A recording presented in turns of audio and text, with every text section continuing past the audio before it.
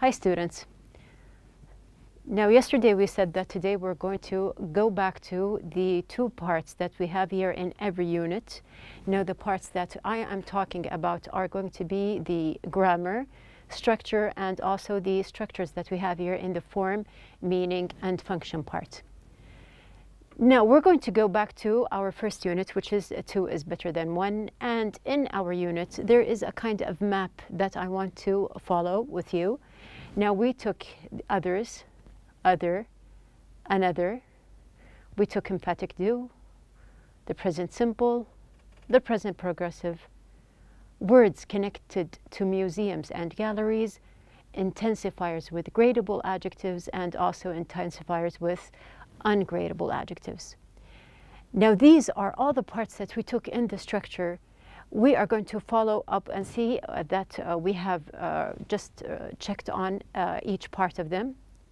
And uh, whenever we check something, we'll also just put here a small tick to make sure that we are on track. So we're going to start. Before we start, now we have this little guy here. He's going to give us hints and help us just move on, just a little bit hints to help us. So let's get to work.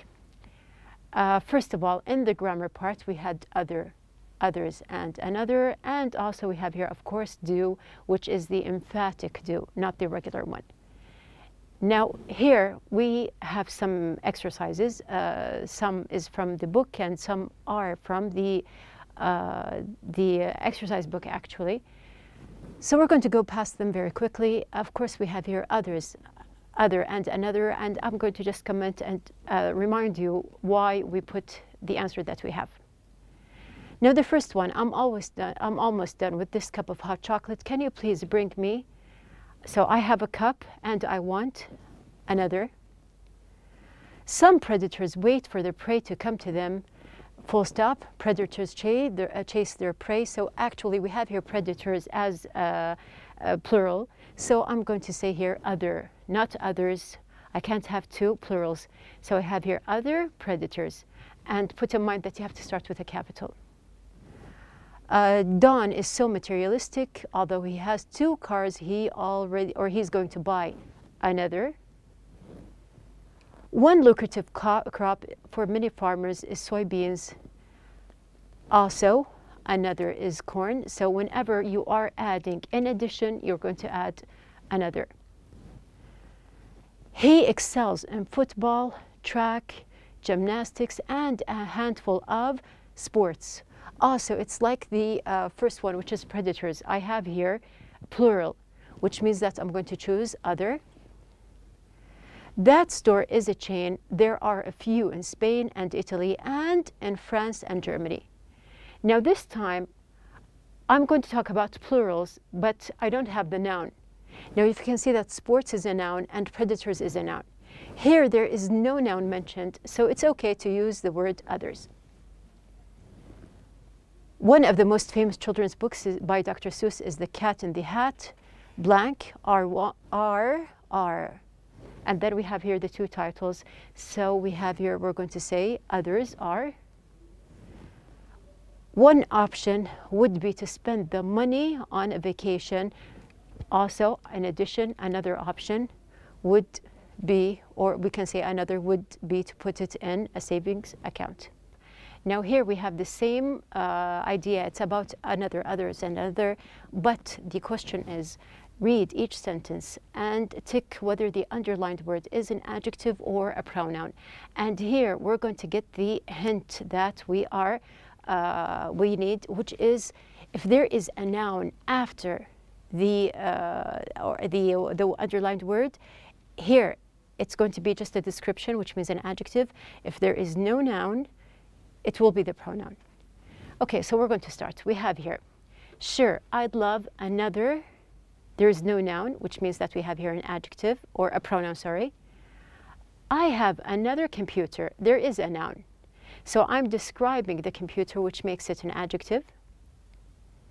Some documentaries are interesting, full stop. Others aren't, the other sentence. No noun, which means that we have here a pronoun. We need to get another car. A car is a noun actually, so we have here this is an adjective. Is there any other food? Food is also a noun, which means that we have here an adjective. Many of the teachers are leaving, others aren't, exactly like number three, so we have here a pronoun. I'm going to sit at the table with the other kids. Kids is a noun, which means that we have here an adjective. And I can't find my math book anywhere. I might just buy another, which means that we have here a pronoun. Moving on, let's see what we have. Yes, now we have here, this is going to be the last exercise that we have for others, other, and another. And actually here we have a lot of exercises because you have to make sure that you differentiate between the three types. So we have here, would you like a cup of uh, tea? So I want an addition. We have here another. Sure, I would love also an addition, which means another do you have pen? Now I want an extra, an addition. So we have here also another.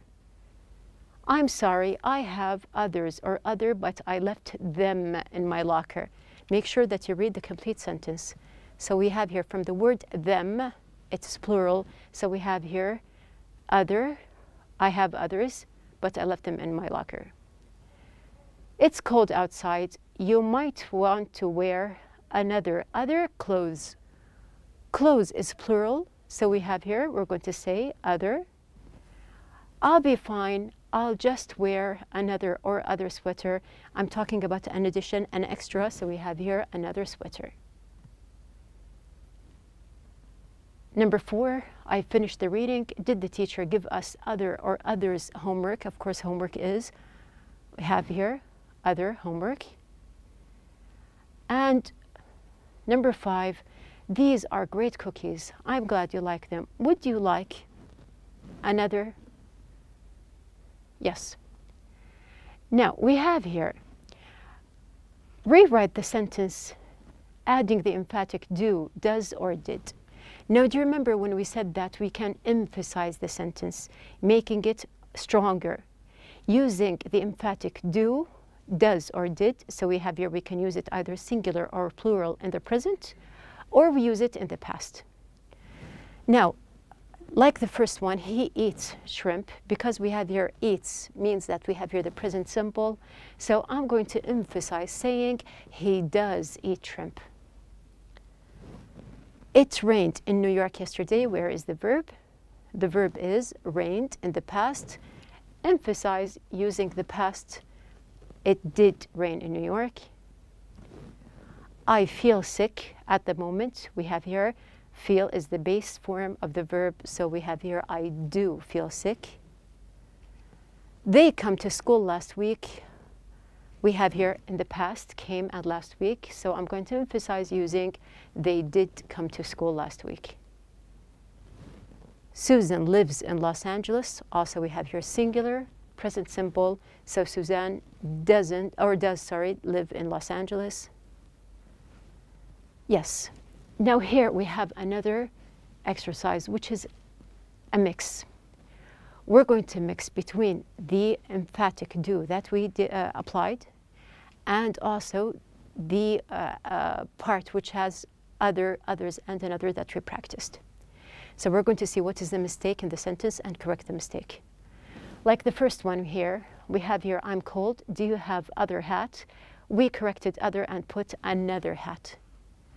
So I do go to school yesterday. We have here yesterday is in the past. And uh, here, what is the, I can't say I do go yesterday. So here, do is going to be wrong and we're going to correct and put did instead. These shoes are uncomfortable. I think I'll wear other. I'm talking about shoes in, uh, which are plural. We have a pair, so other is wrong. Others. Faisal is going to the game with others people. So we have here people. It's wrong to say others people. I'm just going to correct it and write other without the S. Bob does want to eat dinner with us. We have here Bob does wants. We have here does and wants. The S is wrong, so we have here want. I think I'll buy another books. Those, this one is boring. Actually, I'm talking about singular. So books here is wrong. I have here book. This ball is too small. Do you have another's? So we have here, I'm talking about one ball. So we have here another's wrong and we have here just one, another. And here as structure, another's is completely wrong. She do have a class right now. I'm talking about a singular she. So do is wrong. We have here she does have. Some people agree with me, other don't. I'm talking about people in general. So other is wrong. We have here others. They did went to the game last night. We have here did went and last night are on the past. So one of them is wrong, which is going to be went. And we have here they did go to the game last night. Did Asma get another computers? She already had two. So we have here computers is wrong because we have computer, another in addition. So we have just one computer. Yes. Now we uh, practiced others, other, another, and put them in sentences. Also, we have here the emphatic do. Now we are going to move to the other part, which is the form, meaning, and function part, where we studied the present simple and we mentioned all the uh, rules that apply in the present simple. It is something that happens all the time. You have in the negative or the question, do or does. You apply the S with the verb in the affirmative sentence and there is nothing, just the base form if it is plural.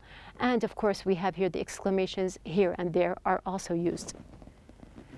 In addition, we also had the present progressive part. So we said that we're talking about something that is happening now or something that is in a developing situation.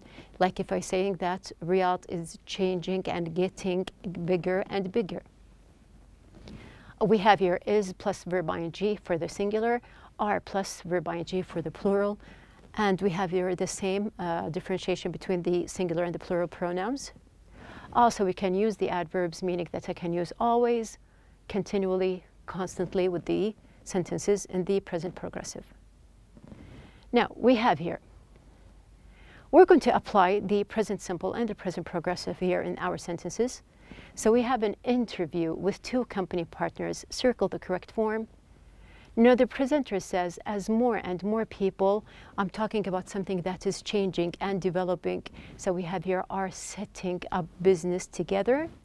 These days, we interview two friends who are trying, are trying to make a go. So this is something that they are doing at the moment. We have here, they are trying. We, since it is an interview and he's talking now, which means that we have here we are waiting for our first pair to arrive. Are they there? Are they? Or they are? So we have here, it's a way to just, uh, we have here, we're going to use there, they are for the present simple. Let's welcome Ali and Faisal. So tell us about your experience of working together. You are or are being web designers, aren't you? Here we have a tag question and we have a statement. So we have here, you are. How things go or how are things going? Of course, we have here a question, how are things going? A yes, no question, is the business or the business is working out as it, as it is planned? We have here a yes, no question, is the business working? Well, it is, is being actually easier. So we have here, I'm turning from the present progressive that we used in the first part to the present simple, we have here it is actually easier than we thought. First of all, let me explain. We have or are having, so in general, they are running a business, so they have, we have here, they have a software program that also we have here present simple assists our customers. So why am I saying that it is present simple because we are presenting something that is a routine, it's their job, they do it every day. Anything that happens every day, it is going to be in the present simple. Here, you go or are going. So we have here, here, you go. This is, is being our website. I'm showing someone this is our website. The presenter says, wow, the site certainly seems or is seeming fantastic. Here also the present simple part. Are you believing, do you believe that's all due to your partnership? A yes, no question, do you believe? Because we have here, the uh, believe here is a stative verb that is used in the present simple. The last one, Faisal, oh yeah, it really helps, is helping to have two pairs of eyes on the screen and two pairs of hands to share the load. So it really helps. Here you can see that we applied both the present simple and the present progressive within our sentence and it showed that something is currently happening now at the moment and something is on daily basis. Now moving on, something else that we took in the form, meaning, and function part, so we passed by till now, yes, six parts. We are going to move to words connected to museums and galleries. And in the lesson, we had this kind of division between the words. So some words are connected to archaeological types of museums and galleries. Some are connected to technological and some are national.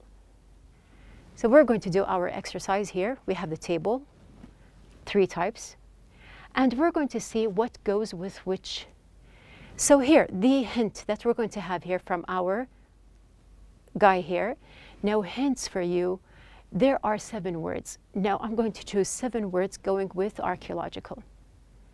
First, we're going to just go them by them one by one. We have here the word antiques. Do you think it goes with archaeological? Archaeological, something old. So yes, okay, so we have here the word antiques. Yes. Uh, Culture also can, yes, it can be. Documents, something that is old, archaeological, yes, sure, why not? Educational books, not so much, no.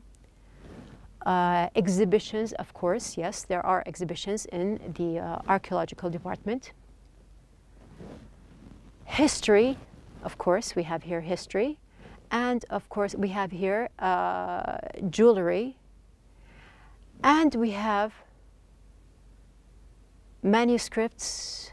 So we have here, sorry, history uh, is left out because we have another part that's going to have history. So we have, we can say that archaeological, technological, and national. Which one is going to be about history more? We can say that we have here, or we can share. And actually, you can add here archaeological history and both in, in the other part. Okay, let's move on. We have here the word jewelry. Manuscripts, yes. Okay, so we have here why not. Uh, pottery, not so much. Robots, no. Ruins, of course, yes. We have here the words ruins. Science, seminars. So we have here, let's just count them. We have here one, two, three, four, five, six, and seven. We're complete. Let's see the other part.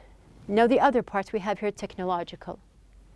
Technological is some the words that are connected to technological exhibitions or galleries or museums. So we have here, the hint is that we have here six words related. Now we're going to look for the six words. We can add the first part, which is uh, interactive displays, yes. And moving on, we can say pottery. No, I don't think so, it goes with it. How about robots? Is it connected to something technological? Of course, we have here the word robots. Uh, ruins, we're done with it. We can see the word science as well. Seminars or space. So we have here the word space, yes. And we have here state of the art. Or we have here 3D digital cinema for scientific documents. Of course, this is very clear. And we have here, it's the whole phrase. So we have here one, two, three, four, five, and the sixth one, I'm going to take it from the first part, the archaeological, because actually I can say that we have here documents in both parts. The last part that we have, which is the national. The national, there are seven words. Now you can see that we have here in the national, of course, it's going to be obvious that we have here educational books, we have history, informative exhibits, pottery, seminars, and state of the art. And also, I can add one from the previous choices and say that we have here exhibitions as well. So we have here all of these words are related as we have here in the table between archaeological, technological, and national galleries or museums. And we have covered up the parts that we have. We can just move and make sure that, yes, we're on track, which leaves us to the last part that we had in the form, meaning, and function, which is the gradable and non-gradable. We have here, for measurements, Gradable, of course, means that we have here, there are measurements I can measure. So it can be measured in degrees, such as size, age, quality, and so on. Now we have here examples just to remind you, like expensive, old, beautiful, important, etc. And the intensifiers that I can use are very, really, and extremely. So do you remember now the lesson? We took using intensifiers with the adjectives. How many adjectives do we have as kinds? We have two kinds, gradable and ungradable. So the first one is done. We have the second one, the non-gradable. It cannot, of course, be measured. We have the examples like priceless, ancient, stunning, crucial, and so on. And we have here the intensifiers. You can see that really, if you remember, is used in both parts.